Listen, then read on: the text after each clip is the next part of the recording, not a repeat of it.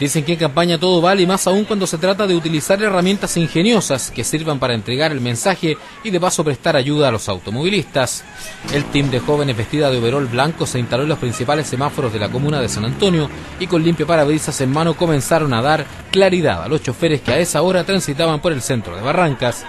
Algunos sorprendidos, otros aplaudieron la ingeniosa medida, que más allá de ser una estrategia, se trata de una forma distinta de llegar a los electores. Y lo que estamos haciendo ahora es una cosa simbólica, estamos limpiando vidrios porque queremos que la gente pueda ver a través de sus vidrios nuestro futuro que viene con alegría y bueno, una simpatía de campaña que estamos haciendo con nuestro equipo de trabajo con mucha alegría porque queremos lo mejor para San Antonio y vamos a ser súper creativos en transmitir este mensaje, sin descalificaciones, sin pelea y de una manera alegre, contenta y limpiando los vidrios aquí como las chiquillas para que vean su futuro con mucha esperanza. En cada semáforo el team de jóvenes limpia parabrisas en mano se acercaban hasta los automovilistas para brindar este ingenioso servicio.